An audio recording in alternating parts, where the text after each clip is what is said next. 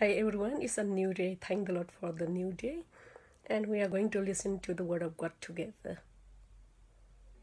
Who is wise and understanding among you? Let them show it by their good life, by deeds done in the humility that comes from wisdom. But if you harbor bitter envy and selfish ambition in your hearts, do not boast about it or deny the truth.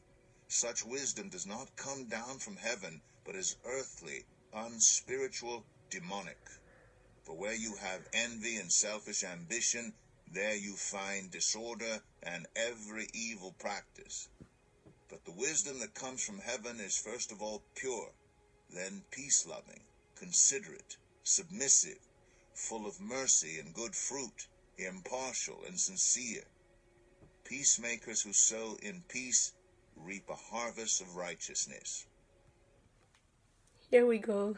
So, two kinds of wisdoms are there, but the wisdom that comes from above is de- desirable. So, God bless you. Thank you for watching and hope to see you again. Bye bye.